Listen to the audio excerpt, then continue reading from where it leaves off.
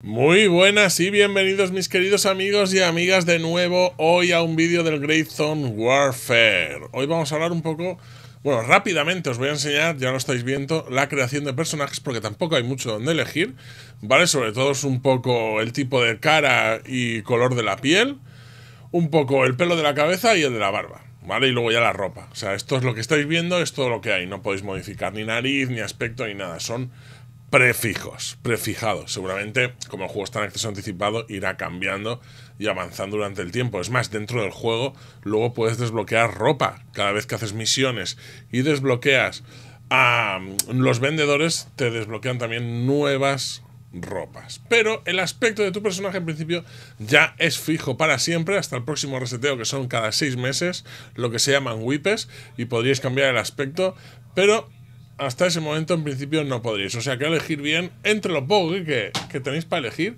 ¿vale? Que ya estáis viendo. No hay mucha selección, lo que más vais a tener luego para seleccionar una vez dentro, como os digo, será la ropa, ¿vale? La ropa no os preocupéis que sí que ahora podéis ir cambiando. Pero lo que es el aspecto principal, por ahora al menos no.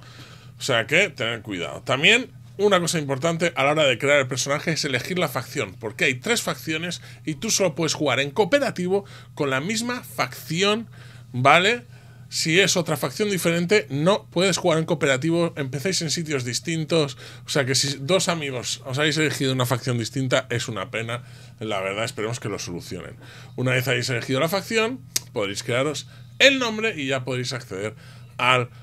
Comprobarlo todo bien ¿vale? Antes de crearlo, que tengáis la facción que queréis y la apariencia que queréis. Ya sabéis, sobre todo pelo, ropa y estas cosas, ¿vale? Pelo, barba y cara. Ya sabéis que siempre que empezamos a jugar un juego nuevo me gusta pasar por la creación de personaje al principio para que lo sepáis, es algo que no sé, siempre es una manía mía.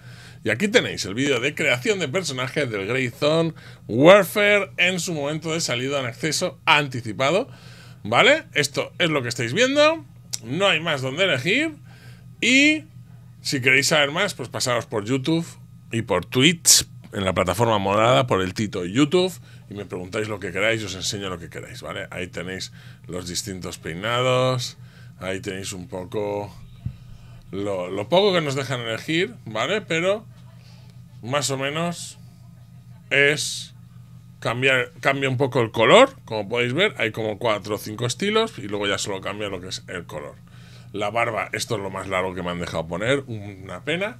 Y lo que os digo, las ropas sí que cada vez que mejoréis la reputación con los vendedores os van a dar más opciones, o sea que no os preocupéis, elegir un poco la que queráis, pensad que sobre todo va a haber jungla y urbano. Por lo demás, familia, creo que nada más. Está todo dicho. Una vez creáis el personaje ya del todo, ya habéis puesto el nombre y todo, se queda así, ¿vale? Esa es vuestra ropa de inicio. Luego, pues, irá cambiando, claramente, depende del equipo que elijáis. Y tenéis dos modos. Tenéis el modo PvE-PvP, que sería el, el primero, que es Warframe. Y luego el segundo, que es Join Operations, que podéis jugar tan tranquilamente en PvE y el equipo se comparte. O sea, si en algún momento veis que en el modo PvP habéis perdido todo, podéis ir al modo PvE a jugar tranquilamente o podéis jugar siempre tranquilamente en el modo PvE y cuando os apetezca probar el modo PvP. ¿Vale? O sea que se comparten lo que es el equipo, no os preocupéis por eso y las misiones en principio, por el momento. Y jugar donde más a gusto os quedéis. Aunque elijáis el que elijáis, sobre todo el del PvP al principio, los primeros niveles son PvE.